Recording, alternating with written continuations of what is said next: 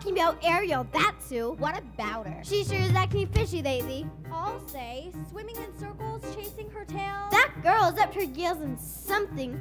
She's dizzy and she's dreamy. Her head's up in the foam. Her eyes have gone all gleamy. It's like there's no one home. She floats away the days, moping on the coastal shelf.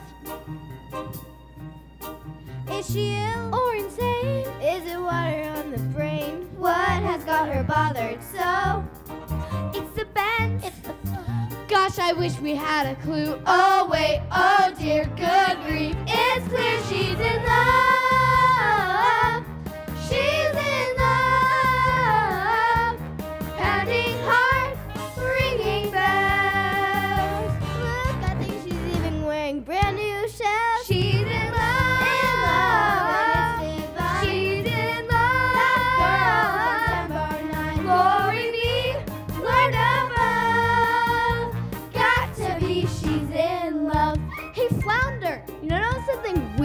About you know who? You mean Ariel? I'll say. She acts like she don't see me. She doesn't even speak. She treats me like sashimi left over from last week. You see her late at night, tossing in her ocean bed. Shoot, shoot, shoot. shoot. And she sighs and she swoons, and she's humming little tunes. Even has a sort of glow. What on earth could it be? Any hammerhead could see. That glow.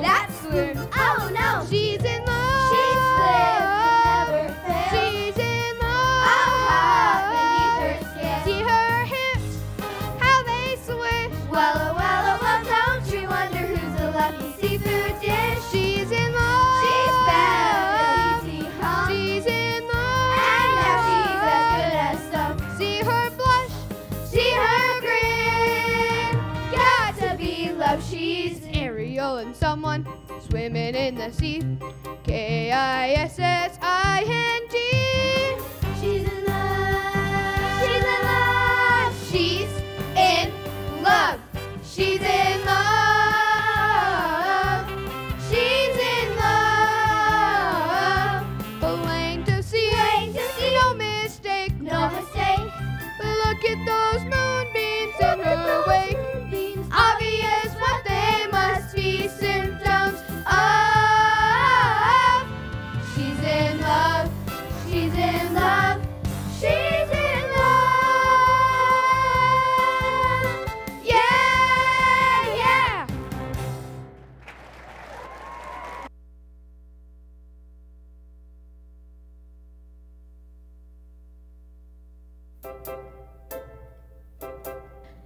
In love? My little Ariel? So that explains it.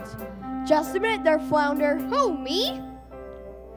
You know Ariel as well as anybody. Who's the lucky merman? Gee, I don't know. I didn't even know it was love until the second chorus. Sebastian, any ideas?